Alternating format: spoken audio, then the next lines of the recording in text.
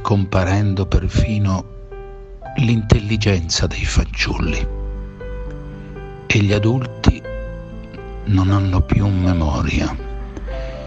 Anche la lingua va morendo. Non ci sarà la neolingua a salvarci. Ci saranno solo dei segni e dei grugniti. Se appena qualcuno mostrerà di comprendere, si dirà è intelligente e continueremo ad ingannarci, illusi d'aver capito.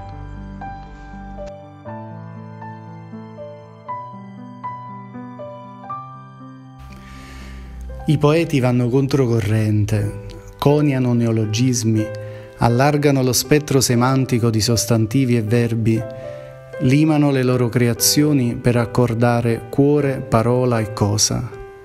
Sugli schermi digitali invece la lingua italiana regredisce. Nelle conversazioni quotidiane ricorrono vocaboli scontati e logori e alla fine ognuno resta col suo mondo segreto di significati incapace di arrivare a una fusione di orizzonti che sigilli con il miracolo della comprensione, dell'intesa, l'incontro desiderato da tempo. Si consumano separazioni per comunicazione inefficace, ci si allontana dal proprio centro per una sorta di analfabetismo di ritorno, dove non so dare un nome alle mie emozioni perché mi mancano le parole e non so parlare alla persona che amo perché non sono in contatto con me stesso.